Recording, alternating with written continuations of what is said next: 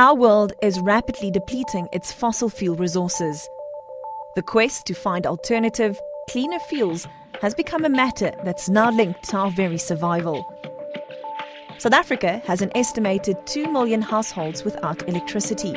A lack of generating capacity, high grid expansion costs, and corresponding increase of electricity tariffs prevents the majority of these communities from receiving a connection in the foreseeable future. Fortunately, there is good news.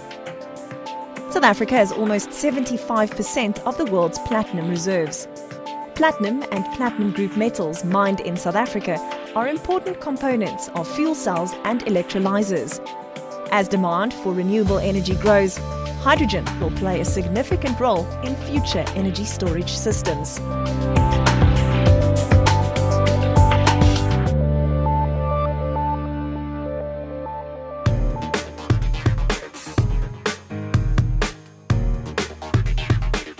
Department of Science and Technology of South Africa developed the National Hydrogen and Fuel Cells Technologies Research, Development and Innovation Strategy. The national strategy was branded Hydrogen South Africa or HySA. The overall goal of HySA is to develop and guide innovation along the value chain of hydrogen and fuel cell technologies in South Africa.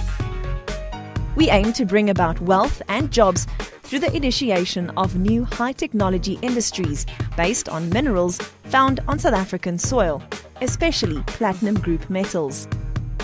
Our efforts are centered around three centers of competence HySA Infrastructure, HySA Catalyst, and HySA Systems.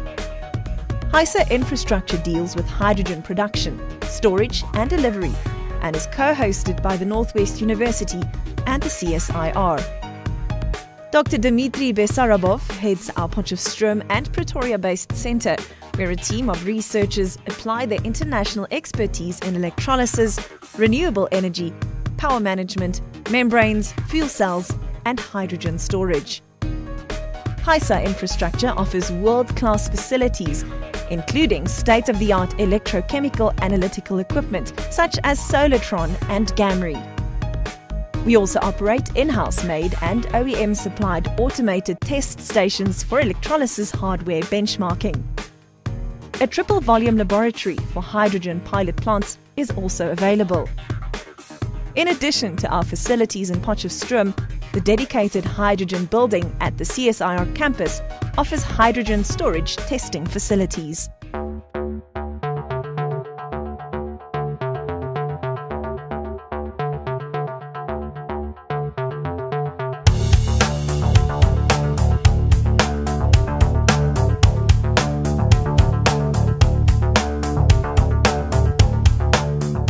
So, how is hydrogen and platinum connected, and how will this help to alleviate our modern world's energy problems? The answer lies in energy storage.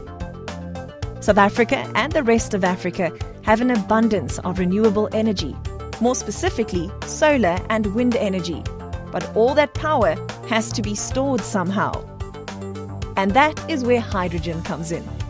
Hydrogen fuel cells are a viable economical option for supplying households in sub Saharan Africa with cost effective electricity for short time periods. Now enter platinum. The production of hydrogen is done using an electrolysis process, more specifically using a proton exchange membrane.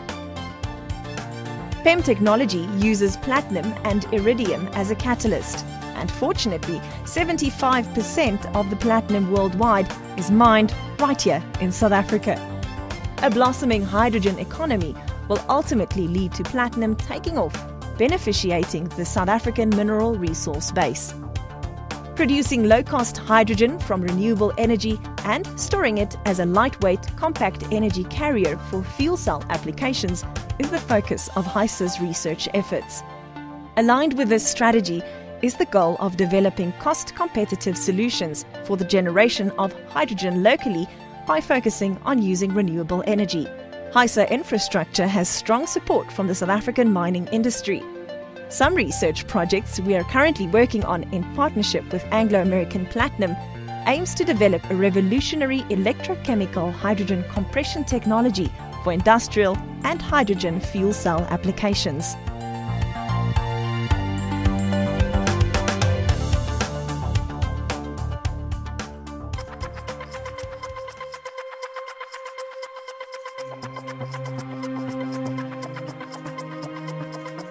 Hydrogen is produced via electrolysis by applying direct current through two electrodes in water. The required electricity to start this electrolysis process is produced by renewable power source such as solar or wind energy. The water molecule is split, producing oxygen at the anode or positive electrode and hydrogen at the cathode or negative electrode. In this process, a metal such as platinum or iridium is used as a catalyst.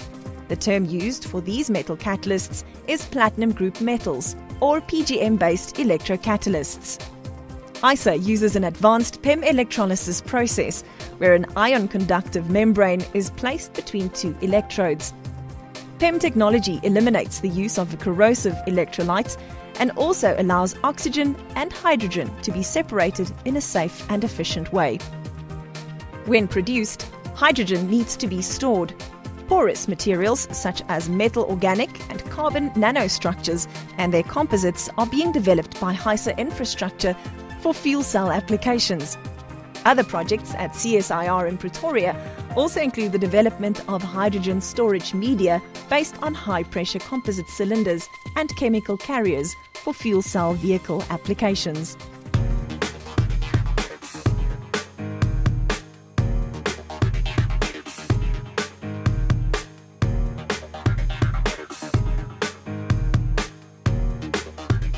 We're not focused solely on research.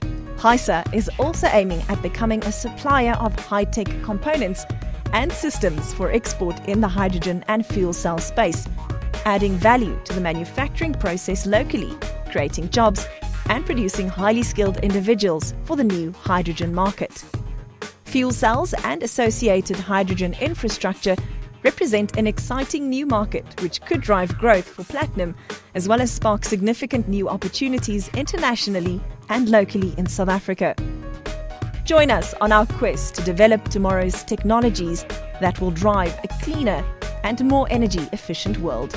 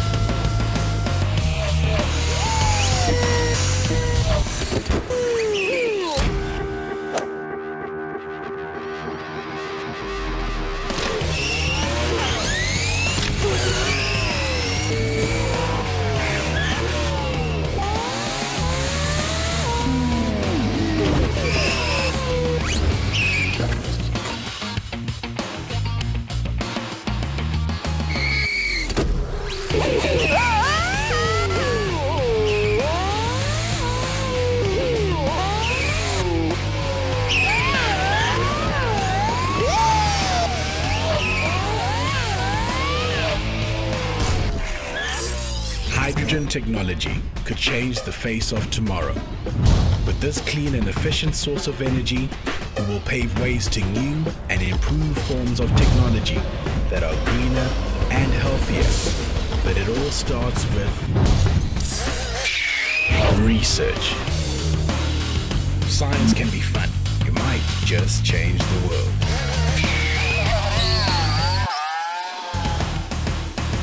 South Africa is a global leader in platinum production, which means we're pushing international innovation forward through global supply of platinum.